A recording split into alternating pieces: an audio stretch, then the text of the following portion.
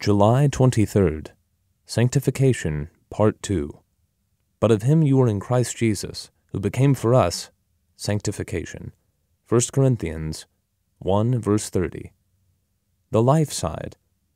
The mystery of sanctification is that the perfect qualities of Jesus Christ are imparted as a gift to me, not gradually, but instantly once I enter by faith into the realization that he became for me sanctification.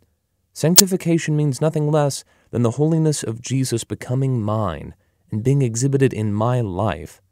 The most wonderful secret of living a holy life does not lie in imitating Jesus, but in letting the perfect qualities of Jesus exhibit themselves in my human flesh.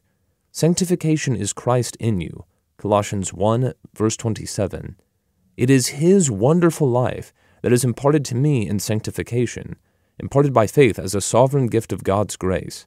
Am I willing for God to make sanctification as real in me as it is in His Word?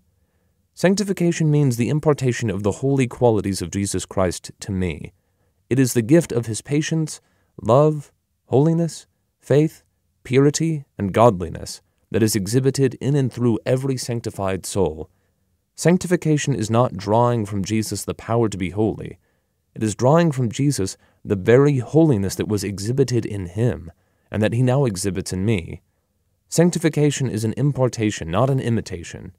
Imitation is something altogether different. The perfection of everything is in Jesus Christ. And the mystery of sanctification is that all the perfect qualities of Jesus are at my disposal.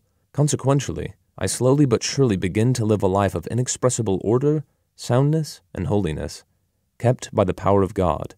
1 Peter 1 verse 5.